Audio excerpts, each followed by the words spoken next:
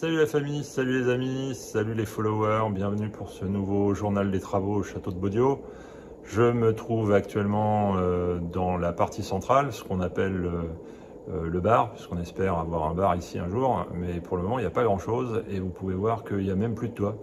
On a retiré le bac acier, on a retiré le zinc qu'il y avait en dessous, le plafond, il reste, il reste les solives et encore pas partout. Et voilà, donc déjà pour commencer, vous pouvez regarder au-dessus là, on, va refaire prochainement, euh, surtout notre charpentier qui va faire ça, une charpente, une jolie pente, parce qu'il n'y avait pas assez de pente et ça, ça générait pas mal de problèmes euh, et probablement c'est pour ça qu'il y a une partie des solives qui avait pourri parce qu'il y avait l'eau qui, traversait et qui a pourri euh, les solives. Donc il faut refaire une charpente avec une bonne pente, euh, au moins 5%, et puis ensuite remettre du zinc dessus.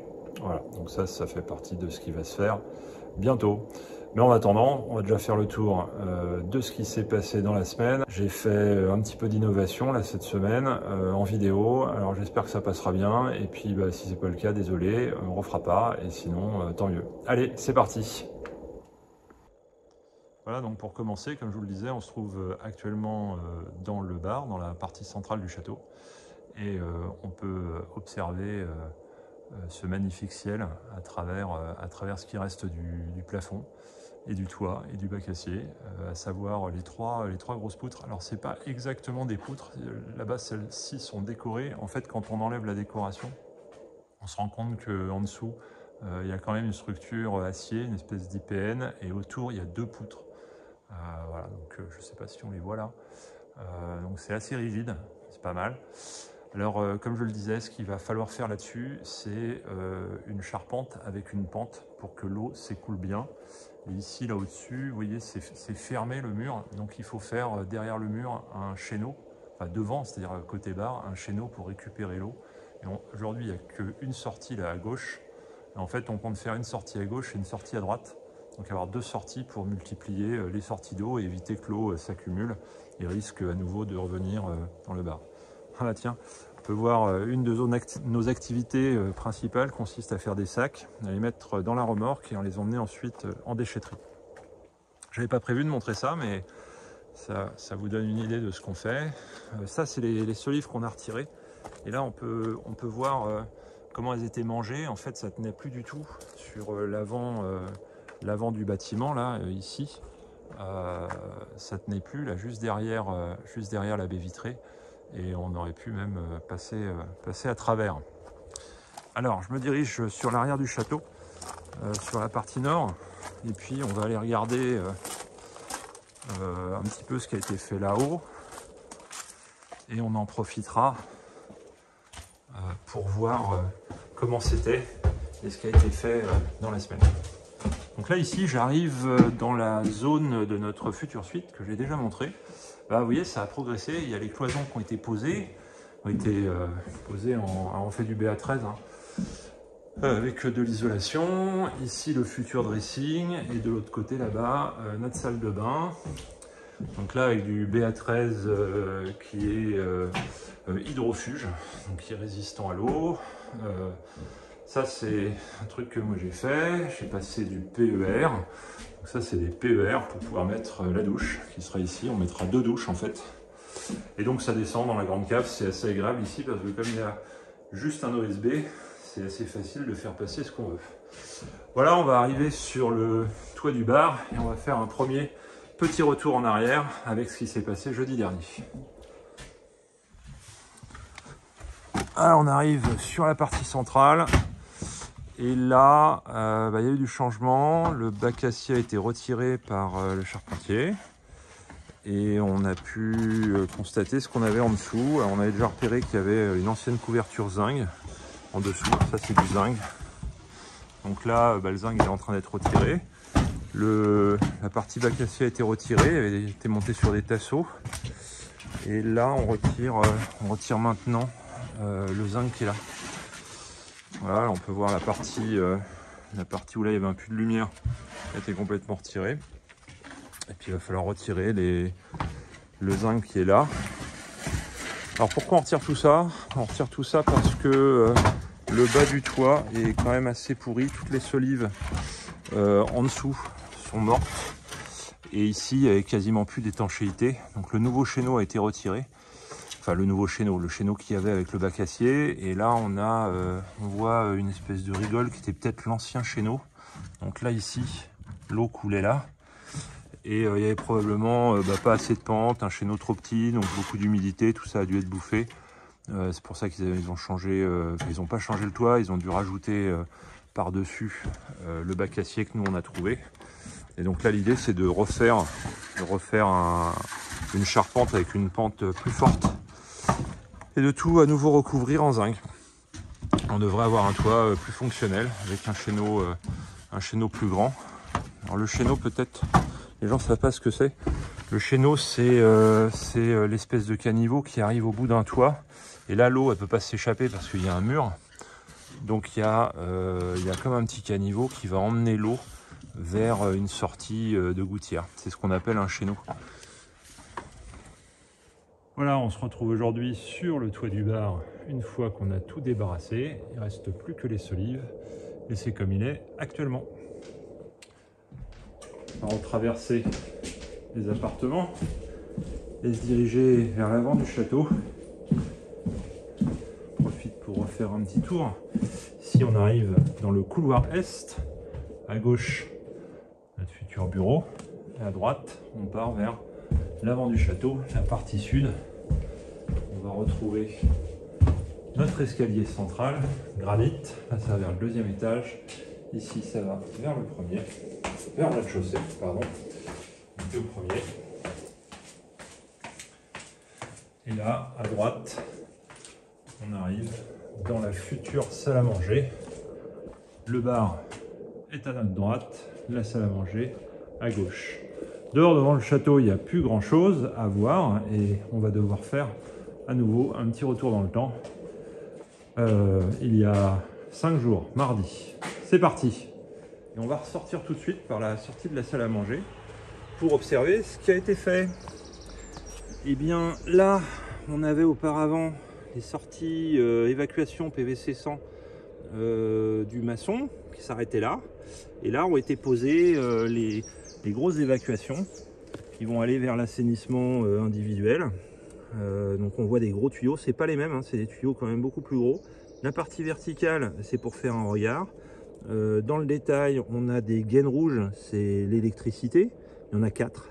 gaines bleues, eau sanitaire ou autre gaine bleue, ça ressemble à une gaine bleue là en dessous derrière. En fait c'est un drain euh, qui sert à évacuer l'humidité. Autre petit détail intéressant, regardez là ce qui a été posé c'est une tranchée euh, pour mettre le, gros tuyau d'évacuation. Il, est déjà, il est déjà dans la tranchée avec, euh, avec du gravier dessus, donc il est déjà recouvert. Les gaines viennent, viennent se mettre dessus.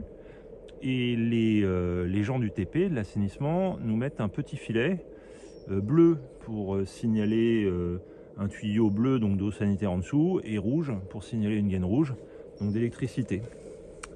On va revoir après tout ça. Ici, on avait euh, l'ancien puits qu'il a fallu retrouver parce qu'il était, était caché. Donc bah, ils l'ont trouvé assez rapidement en creusant, en suivant, le, tuyau du puits en fait.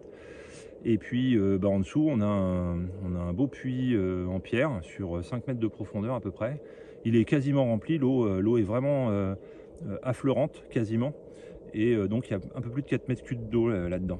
Donc ont, été, ont été reposés un, cerclage ciment-béton qui a été scellé là au béton. Et puis dessus, une, une petite plaque en fonte pour fermer. Voilà pour l'assainissement. On poursuit. Alors il y a du gravier partout, ils se servent, ils se servent du gravier pour refermer, pour refermer quand ils posent des tuyaux. Et puis sur le gravier, on met les gaines. Et donc euh, pour les gens euh, qui, font faire ou qui le font eux-mêmes, très important de mettre, euh, sur les tuyaux le, petit filet. Parce que plus tard, quand tout est fermé, on ne sait plus où c'est. Et donc si on creuse et qu'on tombe sur un filet, on sait qu'en dessous, bah, il y a des gaines, des gaines avec des tuyaux. Ici, je suis sur l'entrée du château, toujours façade sud, mais plutôt côté est, avec le clos là à droite. Et pareil, on a, on va se rapprocher, On a l'évacuation, donc la seconde ligne d'évacuation du château qui arrivait ici, derrière. On voit d'ailleurs le drain avec, euh, le petit embout orange, c'est un drain. On voit le tuyau PER euh, euh, d'eau sanitaire, donc en, bleu. Ça, ça nous amène de l'eau froide. Ça va aller dans la gaine bleue. Et ça, ça va rejoindre le coin piscine. on retrouve un Y avec une sortie verticale, bah, c'est pour faire un regard, hein, un regard sur l'évacuation. À côté, très important également, on a un deuxième PVC 100 qui se trouve ici. Et ce deuxième PVC 100, c'est la ventilation primaire. Alors la ventilation primaire, elle est connectée à ces tuyaux bleus. Enfin, elle va être connectée, là, c'est pas complètement fini, hein, c'est en cours. Et la ventilation primaire, ça sert à équilibrer les pressions. Donc on va avoir ce tuyau de ventilation primaire qui va remonter le plus haut possible dans le château, c'est-à-dire au-dessus, euh, bah, dans le toit, au-dessus du, au du toit, le plus haut possible. Et euh, ça, ça sert à équilibrer les pressions dans la, dans la fosse. Bon, ça sert aussi à évacuer les odeurs, hein, ça sert à plein de choses, mais, mais surtout qu'il y a un équilibrage des pressions. Euh, là, on voit la grosse pelleteuse. De, alors l'entreprise qui nous fait ça, c'est l'entreprise Cambre, Cambre SARL, Cédric. et là, il a sorti la plus grosse pelleteuse, on va, on va voir pourquoi. Je me dirige je vais suivre ces gaines. Bah, ici, c'est recouvert. Il y avait une tranchée qui était là, vous voyez, c'est déjà recouvert. Et là, si on poursuit, en fait, on arrive. Alors ici, il n'y a que des gaines, hein, il n'y a pas le tuyau d'évacuation. On arrive derrière, là où on avait notre ancienne piscine qui doit être bientôt, euh, bientôt changée. Et donc, on a préparé, là, on voit bien, on voit bien le, lit de gravier, euh, les petits filets et les gaines qui arrivent. Une gaine pour nous emmener un tuyau d'eau sanitaire qui permettra d'avoir une petite, un petit coin euh, cuisine, bar à côté de la piscine. Et puis euh, la gaine électrique pour amener euh, un, tableau électrique spécifique piscine. Voilà, on se trouve, on se trouve à l'est du château. On est derrière la, grosse pelleteuse de Cédric Cambre. Et alors pourquoi une grosse pelleteuse? Bah Là les tuyaux, c'est pareil, ils ont déjà été euh, ah non, j'allais dire ils ont déjà été rebouchés, mais non, il reste la tranchée à faire.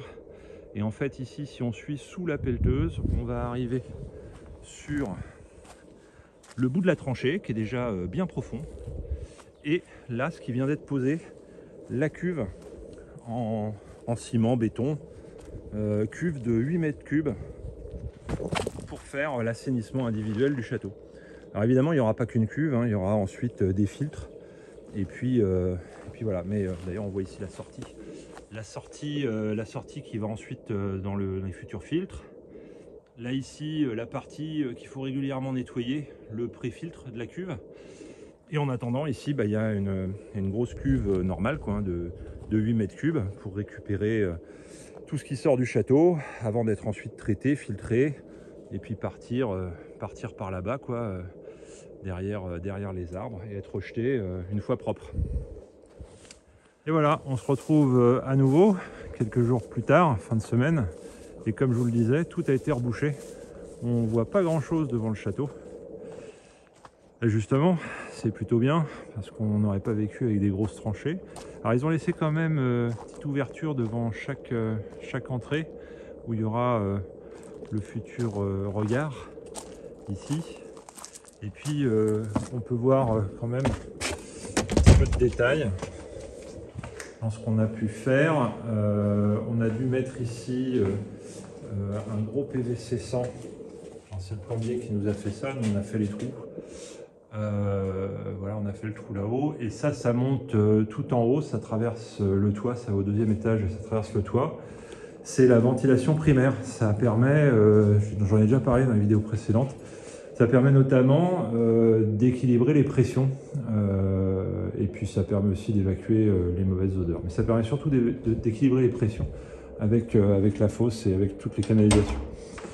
Bon, on a aussi fait ça, on a, on a ici débranché notre salle de bain et toilette qui était au-dessus pour la brancher dans la nouvelle fosse. comme ça on est sûr, on est sûr de ne plus utiliser l'ancienne cuve qu'on doit, euh, bah, doit supprimer, qu'on doit faire retirer. Voilà, et puis enfin, on va faire euh, un dernier retour dans le temps sur quelques jours, il y a deux, jours, sur ce qui se passe ici dans le clos. Alors ici, j'entre dans le clos.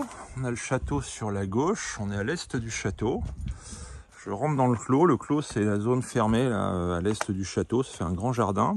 Et c'est là qu'il y avait la piscine. Donc quand on a acheté le château, on avait une, petite piscine qui était là depuis un peu plus de 20 ans. Un petite, pas si petite que ça. Euh, fait un peu plus de 8 mètres sur 4 mètres de large. Avec, euh, comme ça se faisait à l'époque, très profond d'un côté, une pente. Donc euh, quasiment 2 mètres de profondeur au bout.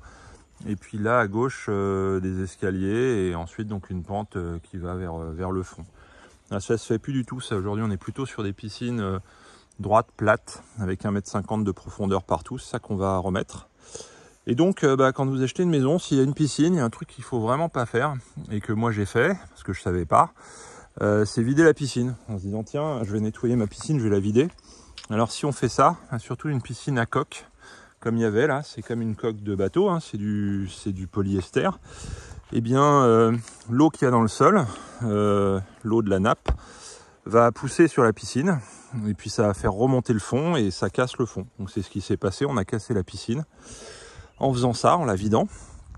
Donc euh, pour vider une piscine, généralement, les gens font un, s'appelle un tuyau de décompression. On fait un petit puits sur le côté euh, on pourrait le voir d'ailleurs si on regarde au, bout là-bas, on voit notre nouvelle euh, fosse euh, où il y a un espèce de gros tuyau noir qui sort là. Je ne sais pas si on le voit ici. Et eh bien ça c'est le puits de décompression de la fosse. Ça marche exactement pareil. Donc un puits de décompression, ça permet d'abord d'enlever l'eau autour pour ensuite pouvoir vider. Ça évite d'avoir bah, la poussée d'Archimède qui vous remonte qui vous remonte votre piscine ou votre fosse ou je ne sais quoi qui serait vide quoi. Voilà, donc on a cassé la piscine. Bon, cela dit, il n'y a pas non plus euh, trop de pertes parce que cette piscine a été vieille, était un peu cassée de partout, les skimmers étaient cassés, euh, euh, l'ensemble était, très vieillissant. Donc c'est pas plus mal de devoir changer la piscine. Alors si on regarde un petit peu plus sur comment ça fonctionne, on a, on a des tuyaux là, c'est assez intéressant. On voit comment c'est fichu. On a euh, donc un trou, on a du gravier qui maintient la piscine et on a, on va descendre, on va aller voir. On a des tuyaux. Alors d'abord, on a les prises, les prises de flotte. On en a en général une en bas là. Le reste, l'ancienne prise de flotte est là. Donc ça, c'est la prise de fond. On a, donc ça aspire l'eau. On a généralement une prise d'eau sur le côté. le tuyau, il est là. Ça, c'est la prise balai.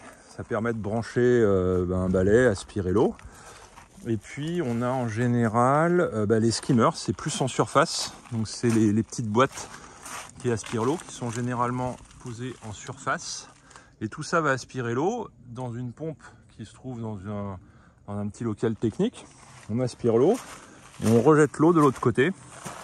Donc l'eau est rejetée euh, ici, là on a les anciens, anciens rejets d'eau c'est assez intéressant de voir comment c'est fichu. Donc l'eau est poussée, repoussée, elle retourne de l'autre côté, elle emmène les petites feuilles, les petites cochonneries de surface dans les skimmers et ensuite elle va être filtrée euh, dans le filtre qui se trouve en général dans un petit local technique. Là le local technique on va le conserver évidemment, on peut voir l'ancien filtre. Voilà, ancien filtre, ancienne pompe tout ça est bien vieillissant. On peut même euh, aller faire le tour et voir euh, l'ancienne pompe à chaleur, bien trop petite d'ailleurs, pas suffisante pour chauffer. Même si on l'a fait fonctionner l'année dernière, on avait quand même 2-3 degrés remontés par la pompe à chaleur. Ce qui peut être pas mal quand on passe de 21 à 24, c'est quand même plus agréable. Voilà.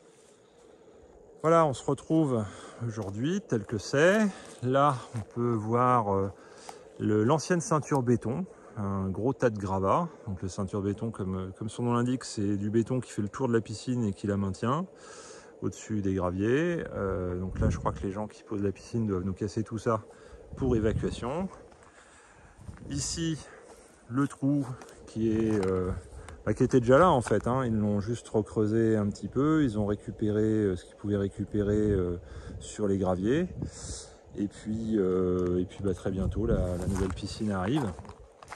D'ici deux ou trois jours, je crois, elle est prévue. Piscine coque, donc on va voir euh, comment ils font pour la, poser, la brancher, l'installer. Ça va être intéressant, je crois. J'espère que ça vous a plu. Si c'est le cas, eh bien abonnez-vous, ça nous fait toujours plaisir. Et je vous dis à bientôt